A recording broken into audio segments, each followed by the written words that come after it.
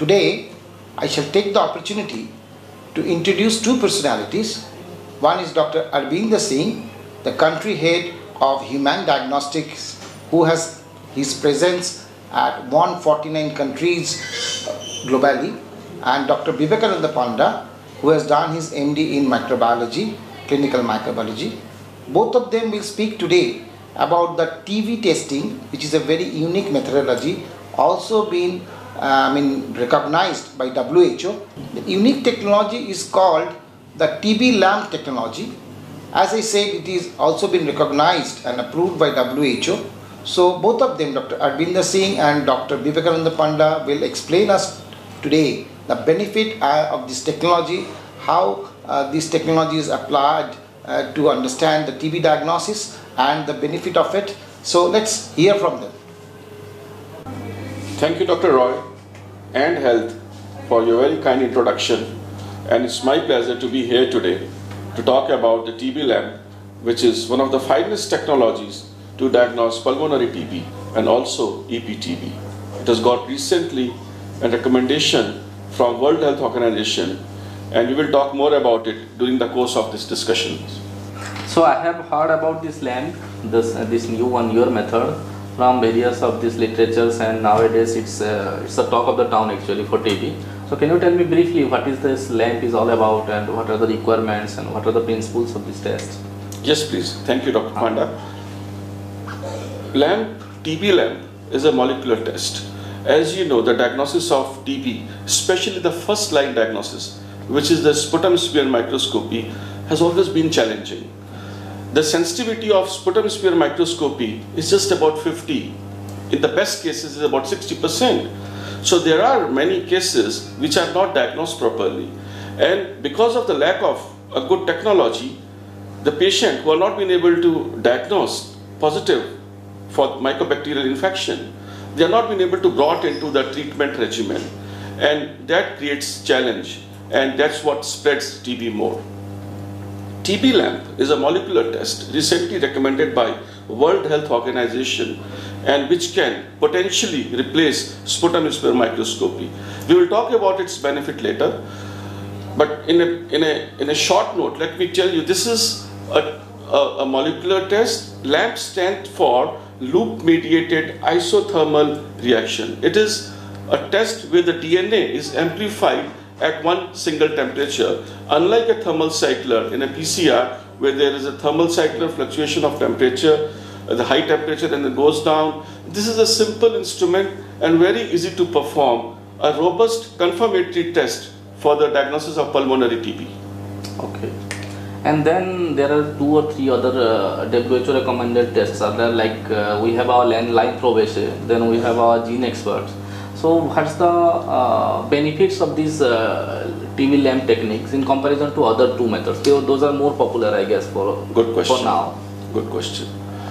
If you look at last hundred years of TB diagnosis, the choice, the best, and the choice of test has been is a sputum smear microscopy, then the culture, which is of course a benchmark and the gold standard, and recently some molecular platforms. WHO came out with a recommendation for line probe assay about 10 years back. And then in about 2011, there was a recommendation from WHO for GeneXpert, which is in India, we also call it CBNAAT. And the most recent recommendation is for TB LAMP, which I just told you is a molecular assay as well. TB LAMP is the only test among all those three recommendations made by WHO for LPA and for GeneXpert and now for TB lamp, TB lamp is the only test, TB lamp is the only test which has been said or which has been recommended as potential replacement for sputum smear microscopy. This was not stated for other recommendation made before by WHO. One of the one of the important uh, benefit of this test is it is temperature independent. It can be performed in a temperature from 5 degree to 35 degree without any special condition. The biosafety requirement is similar to microscopy. It does not need any sophisticated instrumentation. this instrumentation which is available is actually a program heating block and it can be done in a minimal infrastructure setup. The clinical validation which was done by WHO and FIND in 20 countries worldwide and there were two centers in India, PGI Chandigarh and Mahatma Gandhi Institute of Medical uh, Sciences in Wardha.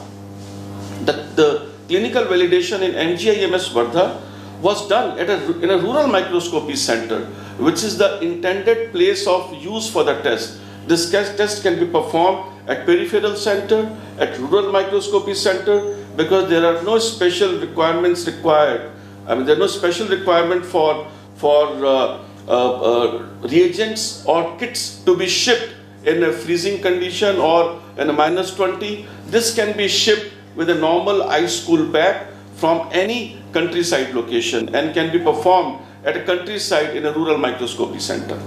That's very nice actually. Uh, you mean to say we don't don't need any specific lab arrangements or you uh, we don't need any sophisticated methods that yes, that's, actually require for molecular testing. That's right. So we don't need those things. That's that's that's the main advantage. If you look at the policy guideline of World Health Organization, which is available in a public domain, you can go to Google and download WHO policy guideline on TB lamp. It's a human Eiken TB lamp manufactured by Eiken in Japan and globally sold by Human Diagnostics, which is a German-based company, as also introduced by Mr. Roy and, and Health. So uh, this test does not need any sophisticated transportation. It can be performed uh, in a condition where biosafety requirement is similar to the sputum smear microscopy requirement. It is also mentioned in one of the listed features in the WHO document. So you have few publications also related to this? Yes, recently we have uh, had a paper, not me, but um, uh, one of our, uh, one of uh, a very uh, respected uh, lab from PGI Chandigarh.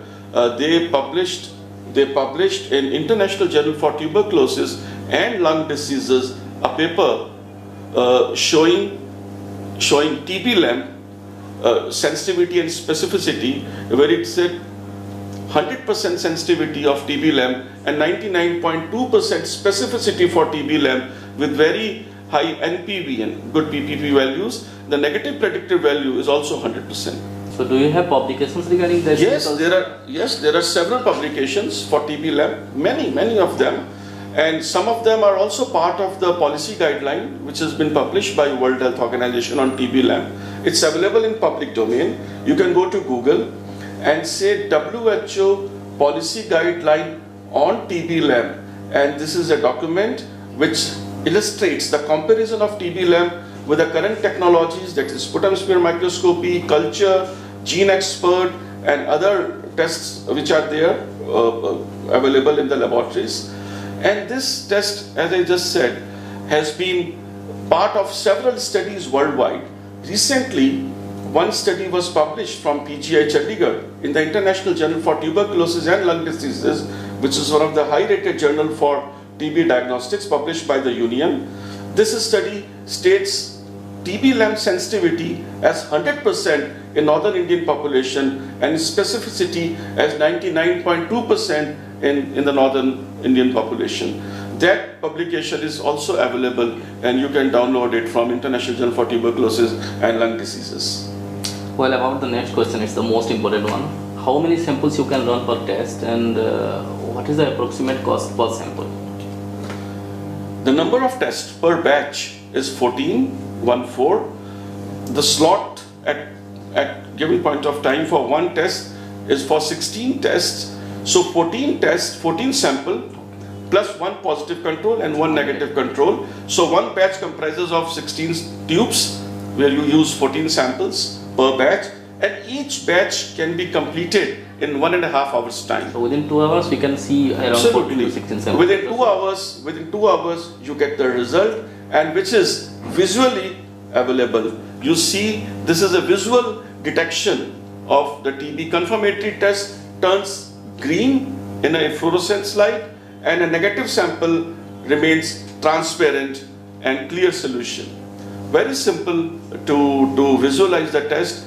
Any lab technician with just few hours of training, maximum about half a day training, can be can be uh, trained to do uh, TB lab with perfection.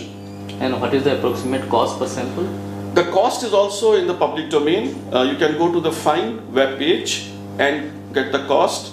The cost for instrument as per the FIND available for countries like India is about 2500 euro and the cost per test is 7 euro.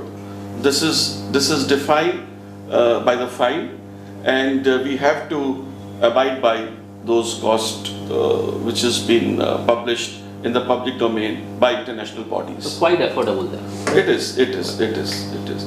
We are also making some special arrangements here that if a lab gives a commitment for about 8 to 10 tests per day, we are willing to invest for instrumentation and we will provide instrumentation free of cost to a laboratory where they give us a commitment for about 8 to 10 tests per day. We are going to invest, we are going to invest for that laboratory. 8 to 10 uh, samples per day are usually normal in our case actually in India. It's 8 to 10 cases are usually uh, come to all, any of the medium or large scale That's correct. uh, laboratories. That's correct. Thank you and health. Thank you for watching this video. If you find this video interesting and beneficial for you, please click the bell button and subscribe. Thank you.